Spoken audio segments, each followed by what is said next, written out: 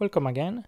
In this video I will uh, show you how we can use Django REST API and Angular and we can do a full CRUD. CRUD stands for uh, create, update, read and delete and that's all four methods, uh, most popular methods uh, that uh, are used with the REST API and uh, that's uh, using method get, post, uh, put and delete. And we'll do that using Django and Angular and I can show you how we can connect it both uh, frameworks, frontend and backend. I have two uh, other videos on YouTube where I uh, use Django and Angular to register user and log in user. So go to my account to check that out if you need it. In this video we'll focus on uh, CRUD.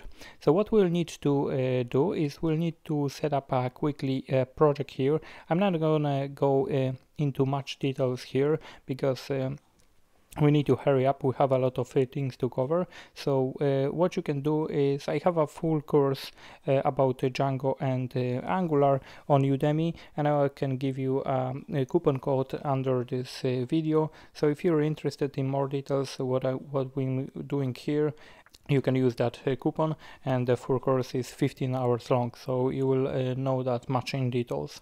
Okay so let's get starting. We need to uh, act fast because there's a lot of uh, things to cover. So first we'll need to create two applications. One will be Django uh, and another will be C another one will be Angular as you can see here and we'll use that uh, two quick starts to to do it.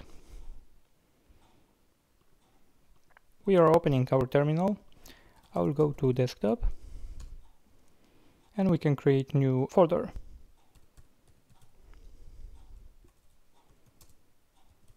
Django. And then going to that folder we are inside so we need to create virtual environment.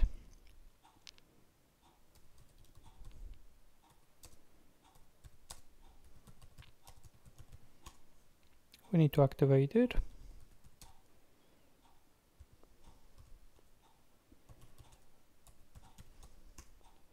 and now we have our virtual, uh, virtual environment activated. I can install Django.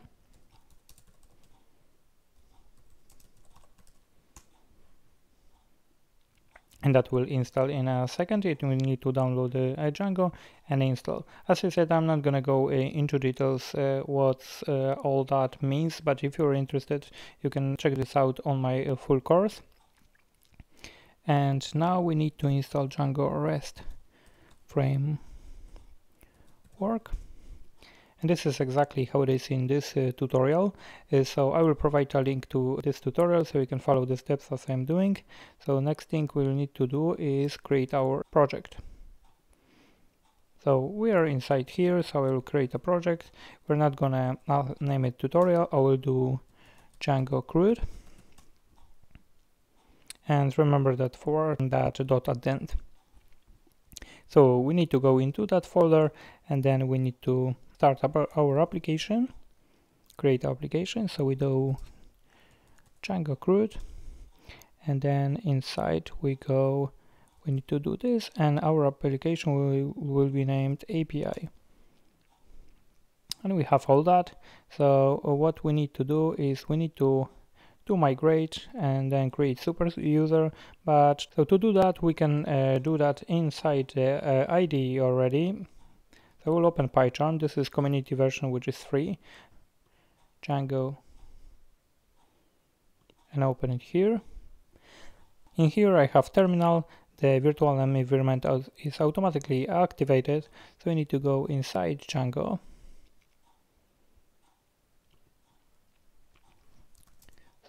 cd Django uh, and inside that Django CRUD actually I don't need to uh, if I do ls I have already managed py so I can run all my commands from uh, from this point so I can do uh, as it was in this tutorial you have mig migrate so I can go migrate and you we uh, apply the migrations. Now we also need to create a super user like that. Christian is fine, email address we don't need to pass it, I will do a password Christian again and we have our super user. So what we can do now is we can run server. And if I click on this, you can see our application is already up and running. So we have our application done. So what we can do next is we will copy a few bits and pieces from here. So we need to create a um, new uh, file serializer.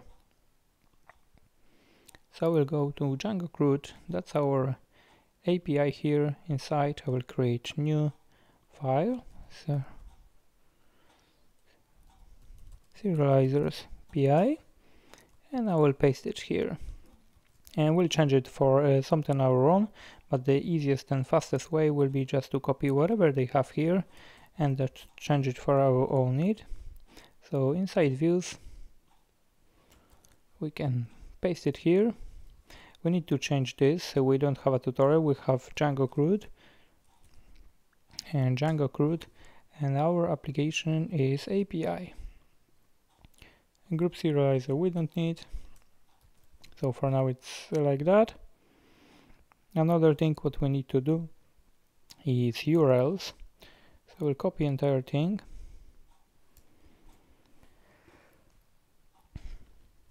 And inside our URLs I will copy for now that here and we'll just take the part that we need. So this is our API uh, sorry this is our Django CRUD API this is where we have our reviews. And then we have our routers. We don't need to have group. And then we include that uh, inside. So I don't need to actually I can reuse the admin. This is something that was uh, there when we installed uh, this Django so we have our admin here and then I can remove that. And we have everything actually that comments we don't need.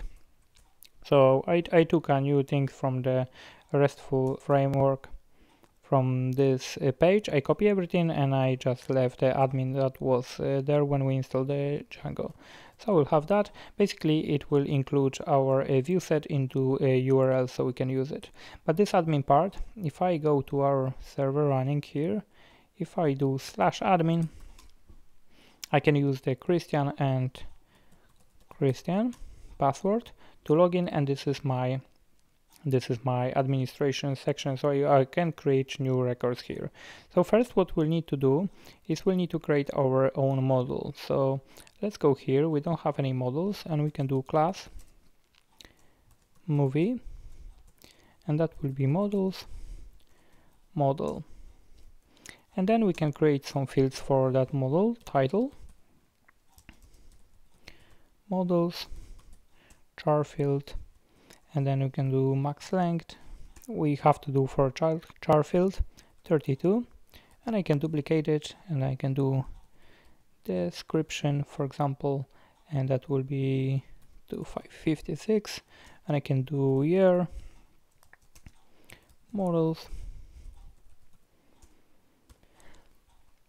integer field and we can leave it like this. So we have our uh, model here what we'll need to do also we need to have a serializer and view set. So we have our model. We don't use user uh, we don't need user here so I'll do movie. Serializer I can do like that and that will be movie. So we have our uh, movie here and we'll need to also import that. So from models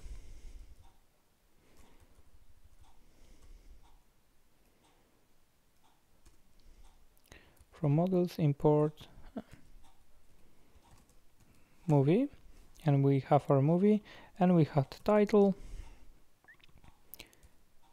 description here also I will include ID which is built-in uh, field in all models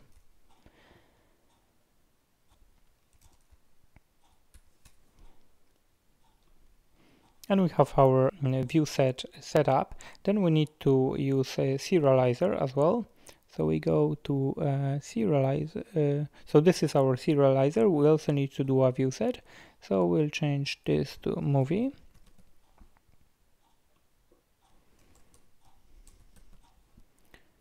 And that's from serializers.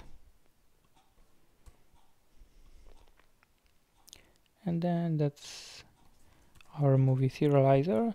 So basically we just uh, took whatever was there in uh, their tutorial and we changed it for our movie uh, for movie model. So our representation for a user we've changed it for a movie and then I need to also do models. Movie. So all that is done then we need to also change the URL and URL movies and then you have movie view set.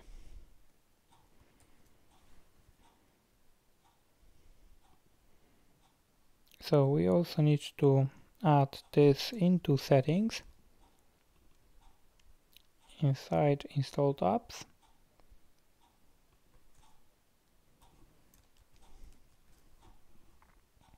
and we have our server uh, running now. So we have our model and we've created for that model three fields.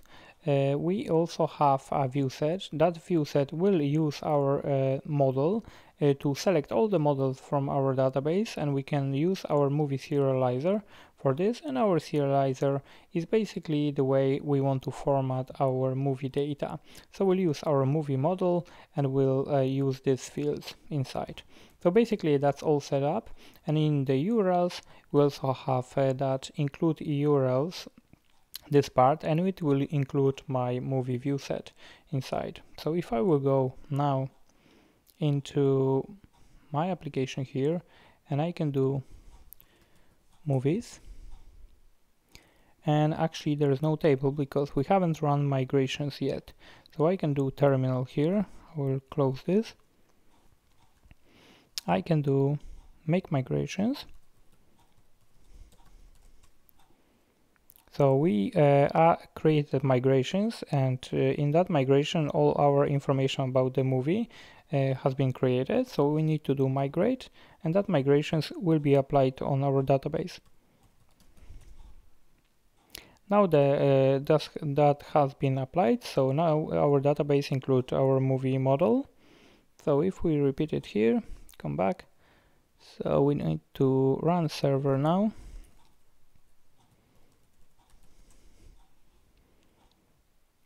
server is running so we can reload and that means um, there is no template uh, for uh, for the movies but we can go back here into admin and it's still not here so we need to add it to admin page as well. So I go here and then we have um, we need to go to admin and then we can do admin site register and then we register a movie. We also need to import from models import movie so if I will save it now I will refresh it. I have my movie here and we don't have any record. So quickly if we can create Titanic. Nice drama. And then I don't remember the the year. Let's say it was 1990 and then I will add another one avatar.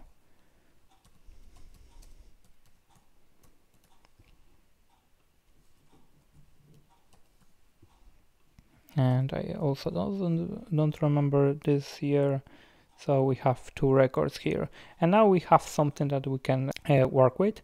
So that's our uh, Django application uh, running. We will try to do something here mm, so now we, now we can uh, start doing our uh, front end and I will show you how we can connect both of, uh, of those. So this is already done. So what I can do is I can go back to my desktop.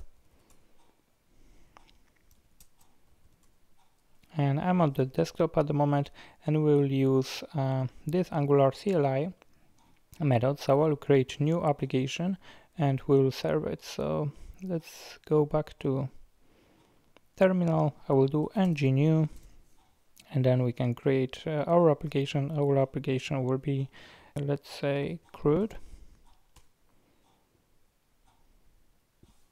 an Angular will, will be downloaded and it, it will create a new project for me.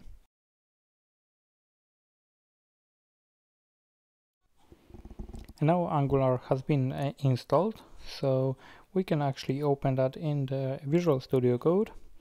So this is also a free uh, text editor.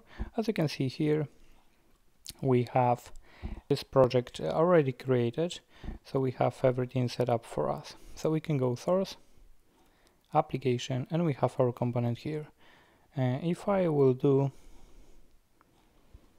cd CRUD ng serve it will start our application. And then copying this URL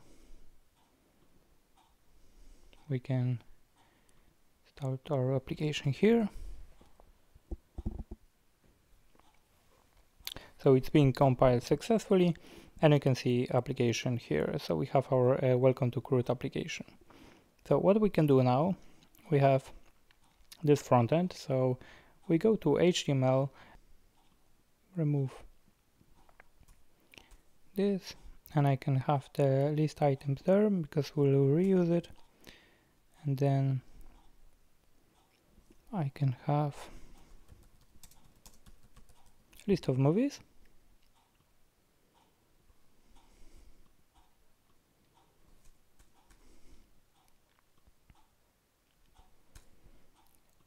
and here we can print our list of movies. So we do ngFor let.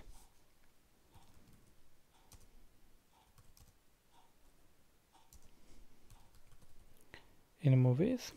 And then we can have movie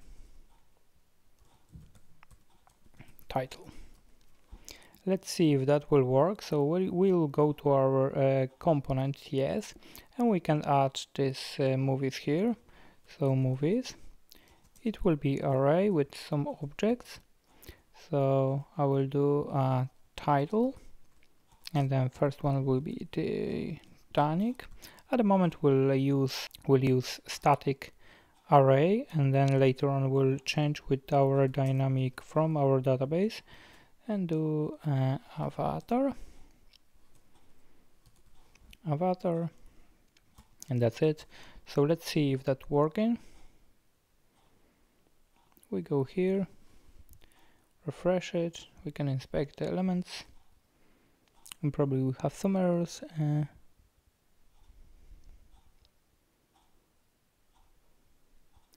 we need to change uh, this of movies and we have our uh, movies here so list of movies and that's our uh, Titanic and Avatar. At the moment this is not coming from our uh, Django.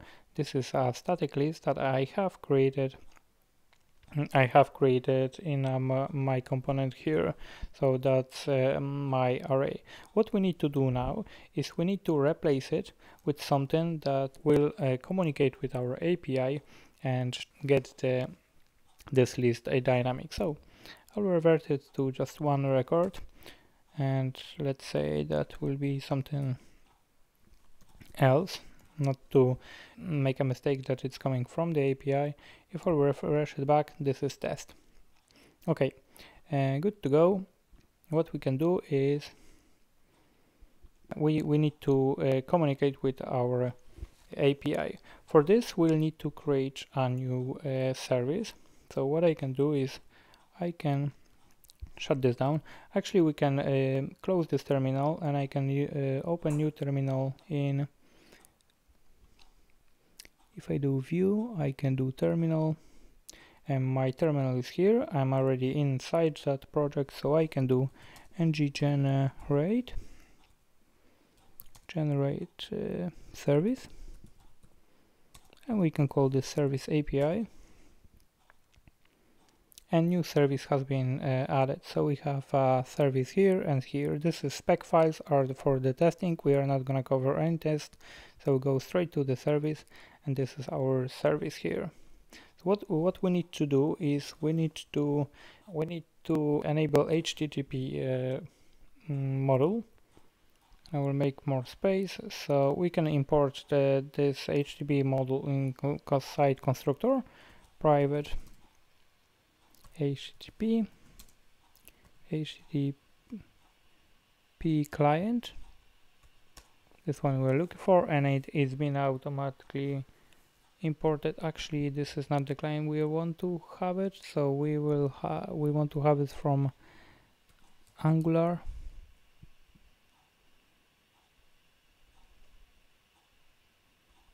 Angular http this one. Angular common and then http this one so we have our http client that we can uh, use and we can create our first method here. So get all movies. It will re return obser observable. Any and inside here we can do return http get and we'll have our uh, get here. So URL first thing first we can create base URL here. And basically our URL for now is this mm, that's our URL here. So we have that and we can copy that inside here and we can reuse it as a base URL. So what we need to uh, pass it here so we'll do this base URL and then we can do plus movies. We need to do slash movies we also need to do uh, uh, some headers. So we do http headers. New http headers like this. And then inside I can do uh, headers we want to use. We can do content type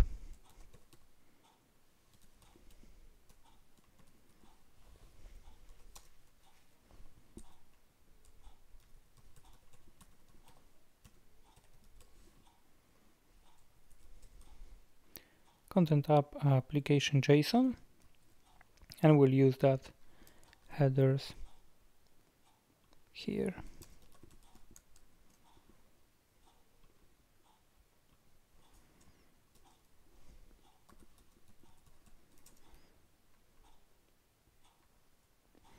I'll move it to another line.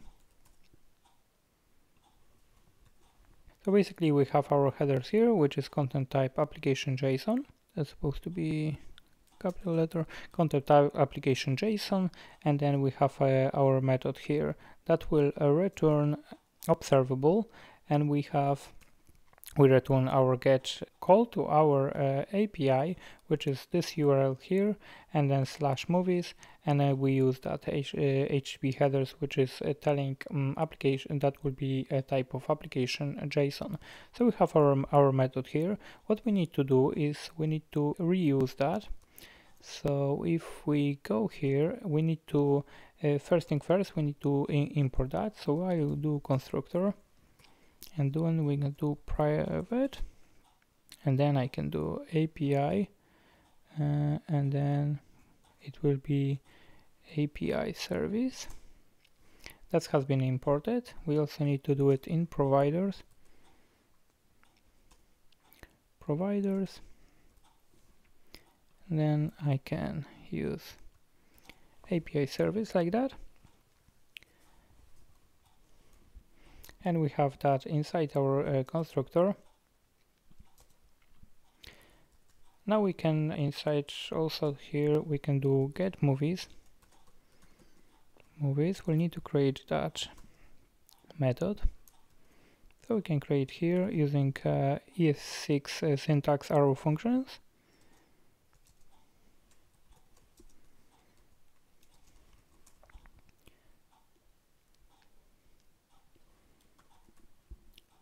So inside our constructor when our application will start, the, our uh, components will start. Inside constructor we will try to get the movies and we have our uh, function here.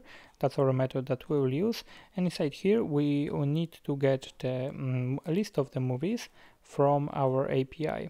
So what we do is this API, which is this uh, service, and then we have uh, get all movies method here and it will get all movies uh, for us. Then we need to subscribe on the we need to subscribe on this observable. And then we can say data. We'll do something. In case of error we can do something. So console log error. And then if we'll have data so we can say this movies data. So we have our in our inside our uh, inside our service we return uh, this call and we return observable. So we subscribe to that observable here.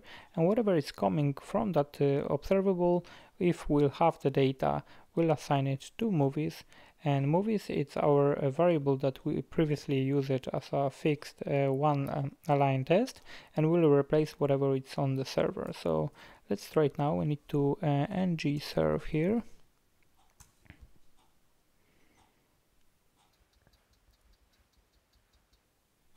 That has been built. So let's go back to our application here and we have connection refused. So uh, localhost uh, socket has been uh, refused. Let me no actually that was the last one. So we have no provider for HTTP client. We also need to import that inside our uh, modules. So we go modules. And we need to uh, import HTTP client here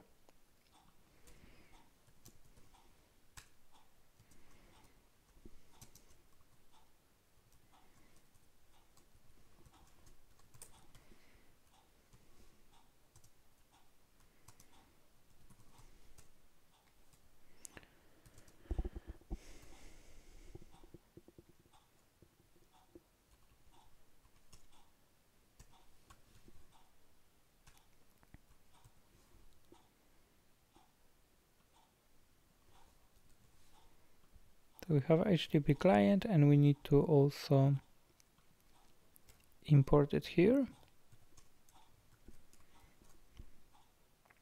So our model knows that we inside that uh, application we will use uh, inside that app inside that model we will use our HTTP client.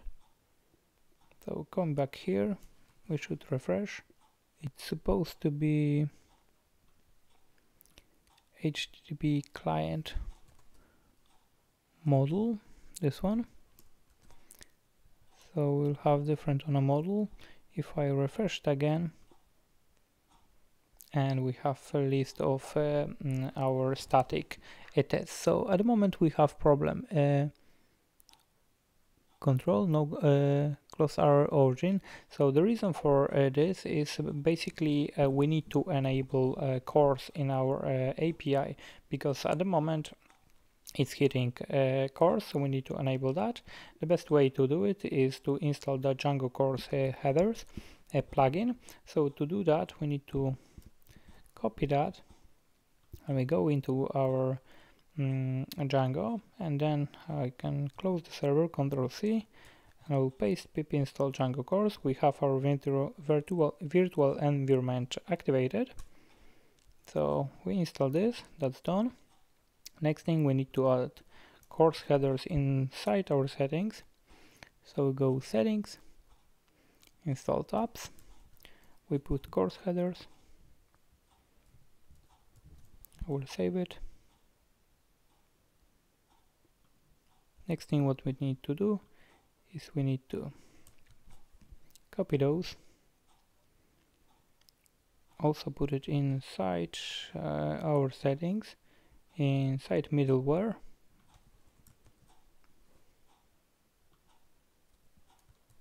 I will save it. And the last thing what we need to do is whether we do uh, cross origin allow all or we can do uh, like this. So basically if you use this option you will actually allow certain certain uh, hosts to to have access to your API and what we can do is actually we run it on this localhost uh, 4200 and we can use this only. So we'll allow only from this uh, host we don't need that or that. And I will save it now. We need to start the server. Server is running.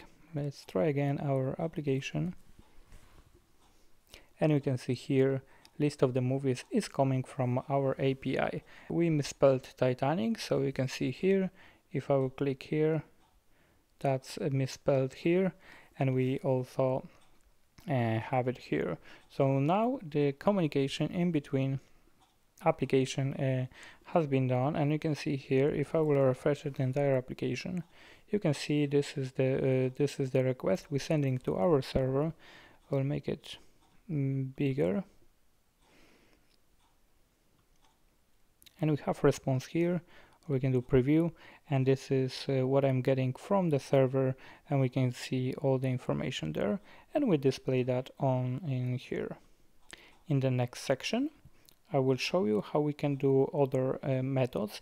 At the moment we have get, so what's missing is uh, put, post, delete, and also I will show you uh, another trick how we can optimize this this method for a list view and also for a specific uh, view. So that will be in the next uh, video.